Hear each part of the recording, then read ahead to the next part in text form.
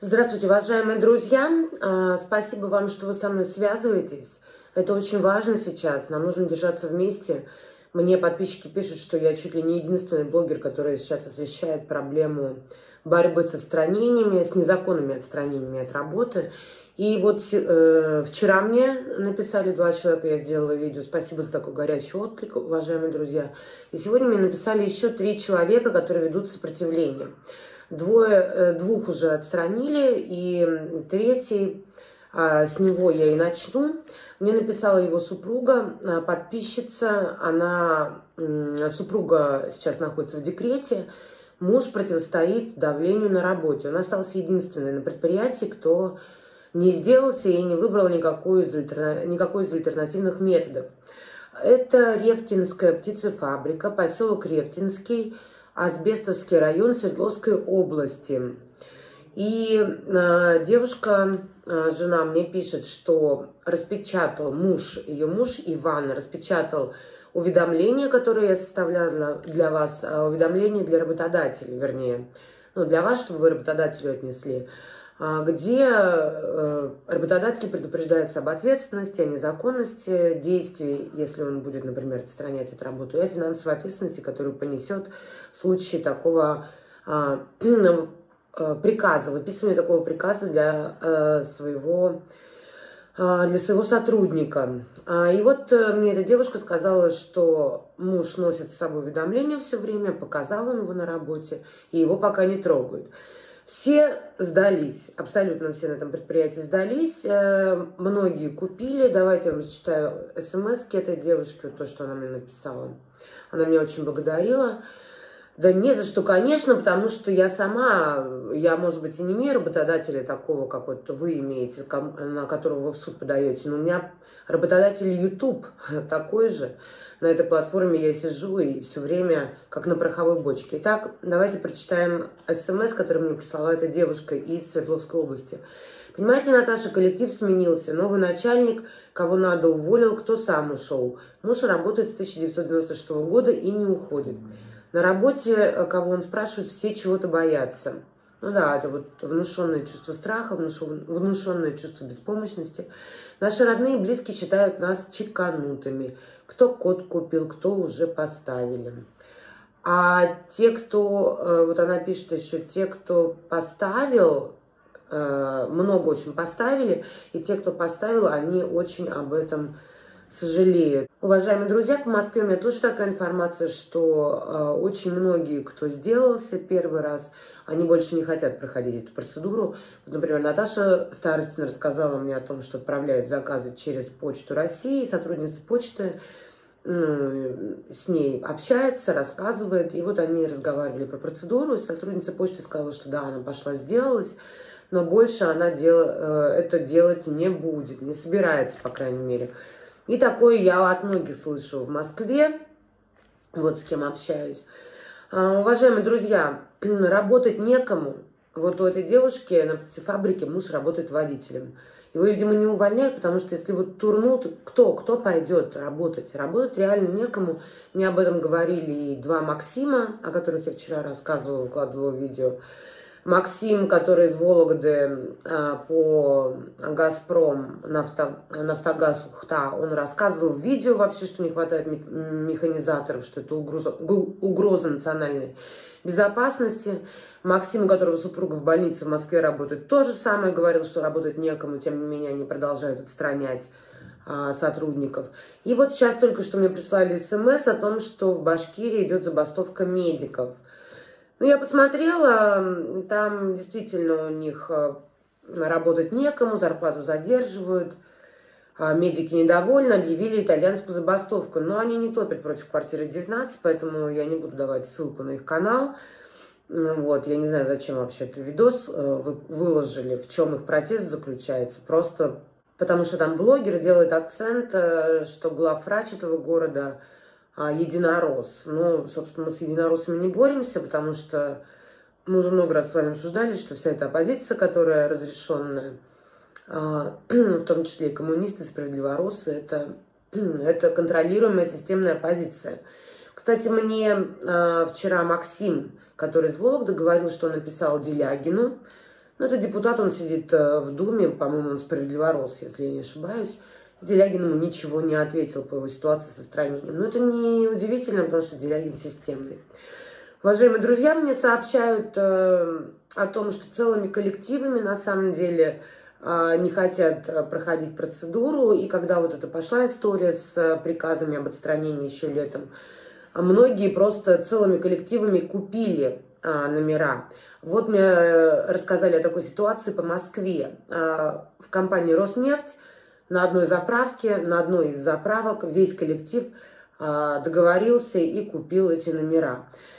Уважаемые друзья, я понимаю, что это временное решение проблемы, но все-таки это путь в никуда, а, потому что вы а, все равно окажетесь либо с уголовным делом, либо вас как-то по-другому нагнут. Я понимаю, что вы вот сейчас вот а, ходите довольны, что вы решили проблему, но поверьте мне, либо вам придется сопротивляться, как это делают эти принципиальные наши сограждане, о которых я рассказываю, либо вам придется, либо вам придется становиться в ряд, э, ну, в один строй с системой. Вам не избежать того, чтобы вам нужно будет вести борьбу. Как, э, как долго вы не откладываете этот момент, он все равно настанет. Но вы себе просто осложните вот этими вот э, делами, которые вы сейчас делаете. Я сразу предупреждала, что делать этого не нужно. Лучше всем коллективом договоритесь и пишите э, отказ, пишите незаконность отстранения. Это что же самое? Ведь коллектив не уволят, работать некому, люди уходят. Уважаемые друзья, теперь я перейду к следующему моему подписчику, отважному человеку. Это молодой человек, он из Москвы. У него основная регистрация в Москве, но последние 8 лет он проживает а, в Курске, где и, собственно, работает... Сейчас я открою его смс.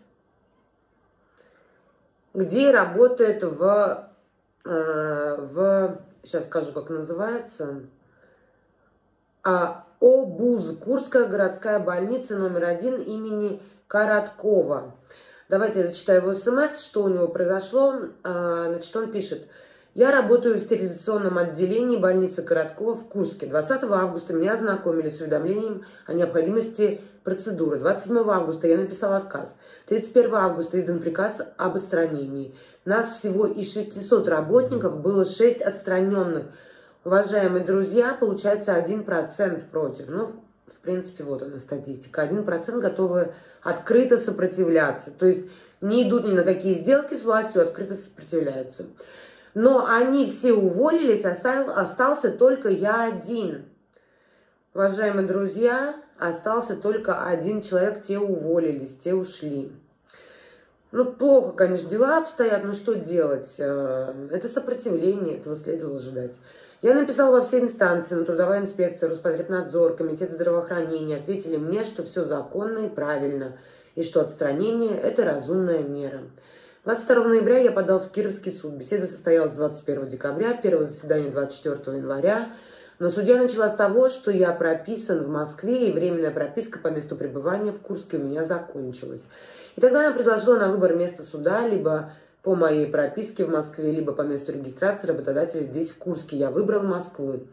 Тимирязевский районный суд, судья сказал, что 27 января вынесет определение, потом еще 15 дней на возражение. Остальная информация о больнице, обо мне на моем канале. Я сделал несколько видео по этому вопросу. Уважаемые друзья, ссылка на канал Ильи Сафронова в описании. Обязательно посмотрите, что он рассказывает про своего работодателя, про эту больницу. Но ну, я знаю, что в больницах очень жестко все. Подпишитесь, пожалуйста, на его канал. Уважаемые друзья, на самом деле Илья очень большой молодец, так же, как и Максим, который э, из Москвы, из компании Феррера. Они готовы, на самом деле, отстроиться от системы. И у того, и у другого есть дом в деревне. Вот посмотрите, какую замечать, какие замечательные овощи выращивает Илья в Курске в частном доме. Я ему порекомендовала на его канале выкладывать информацию по а, его а, сельскому хозяйству, потому что это сейчас становится актуальным как никогда. И именно те люди, которые практически шаги в этом направлении э, совершают, именно они будут э, в основном тренде, так скажем, модное слово. А, так, уважаемые друзья, продолжаем дальше. Так, а, я должна сказать, что действительно готовьтесь к тяжелым временам, как Илья и Максим. Илья, который из Вологды, он тоже в деревню уехал. Вы знаете, у меня складывается впечатление, что сейчас наступают последние времена, реально последние времена, потому что сейчас повылезало все самое черное и жуткое, самые подлые, мерзкие, отвратительные людишки, которых даже сложно назвать людишками. Даже слово людишки им не подходит. И такой мерзости и нечисти я, мне кажется, никогда не видела, не встречала, не знала, что люди могут идти на такие подлости. Поэтому, друзья, конечно же, надо готовиться к тому, что нас ждут еще более тяжелые времена. И вы видите, что происходит. А, вы видите, какие издаются законы. Вы видите новости каждый день. Итак, а, продолжаем. Третий человек, который мне сегодня написал, это Старцев Сергей Анатольевич. Ему 65 лет, это житель Нижнего Новгорода. Он работает э, в Роспотребнадзоре. Его отстранили. Давайте я Э, зачитаю выдержки из его заявления искового. Э, он подал в суд. Итак, друзья, давайте прочитаем. Исковое заявление о признании незаконным и надлежащим отмене приказа об отстранении от работы, взыскании компенсации за период незаконного отстранения от работы, признания действий ответчика дискриминационными, компенсации морального труда. Я истец по настоящему гражданскому делу Старцев Сергей Анатольевич, далее истец, состою в трудовых отношениях с ВБУННа ННИИГП, Роспотребнадзор, Федеральной службы по надзору в сфере защиты прав потребителей и благополучия человека. Далее ответчик. Да, по иронии, человек, э, права которого жестко нарушаются, работает в организации, которая должна следить за тем, чтобы права соблюдались. В должности специалиста по охране труда административно-хозяйственной части с 19 июня 2014 года – что подтверждается моим трудовым договором от 19 июня 2014 года. 19 ноября 2021 года в отношении меня директором Умнягиной ИА был издан приказ номер 144 ПВ об отстранении от работы с 19 ноября. Отстранение от работы произошло, произошло в результате того, что я не предоставил работодателю сведения о прохождении процедуры. Полагаю свое право на труд нарушенным – изданием э, незаконного и дискриминационного приказа от 19 ноября 2021 года номер 144 по следующим основаниям.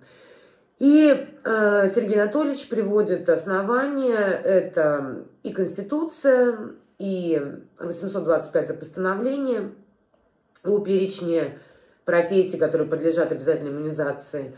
И вот мне понравилось, очень хорошее на самом деле Э, заявление я могу отправить вам, если кому-то нужно, если кто-то ведет такую же борьбу, такое же противостояние.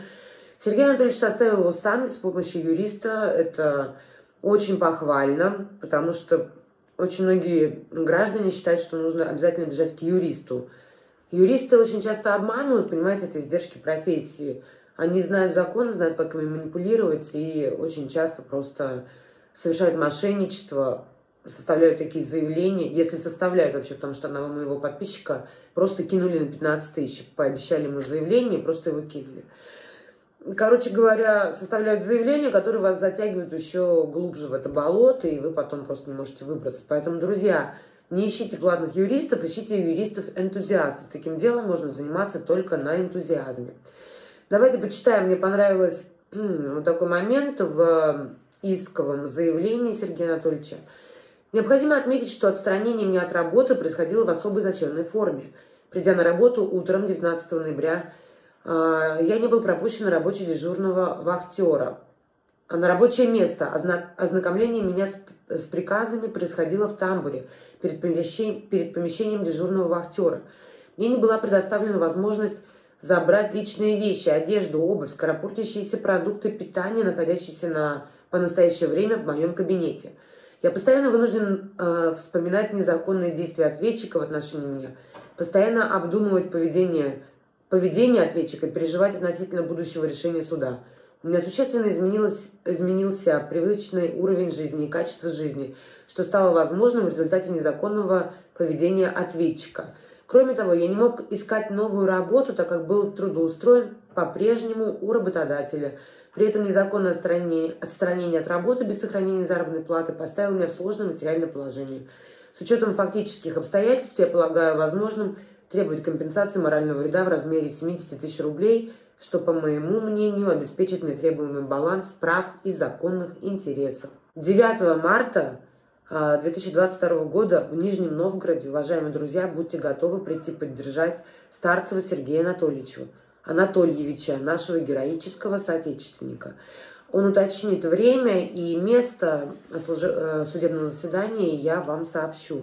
Это очень важно сейчас держаться вместе, уважаемые друзья, потому что у нас буквально единицы, буквально единицы. Пишите мне обязательно, я буду связывать вас по а, по территориальному признаку э, с теми, кто уже ведет борьбу. Э, уважаемые друзья, вот такая у меня сегодня информация для вас. Давайте подумаем, да, давайте подумаем, как связываться на случай отключения связи интернета. Спасибо всем, кто поддерживает мой канал, спасибо всем, кто предлагает мне поддержку а, на случай тяжелых времен переехать в деревню к ним. Огромное спасибо, я очень благодарна, потому что у меня деревни нет. Пожалуйста, я понимаю, что я призываю всех переезжать из города. На данный момент у меня возможности такой нет.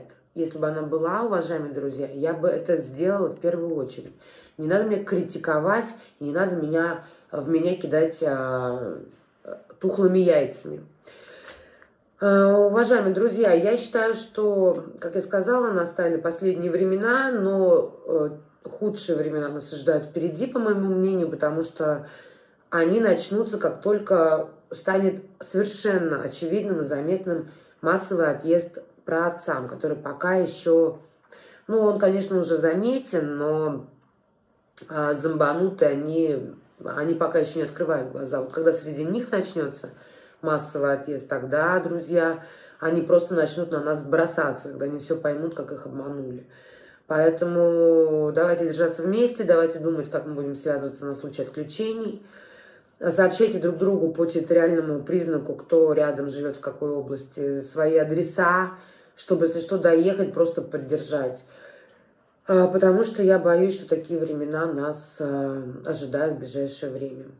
Уважаемые друзья, ставьте лайки, пишите комментарии, подписывайтесь на все мои паблики. А, делитесь моими видео обязательно, тем более, что я единственный блогер, который освещает такую важную тему, которую не освещает никто. Делитесь моими видео. Спасибо, что смотрите. До новых встреч.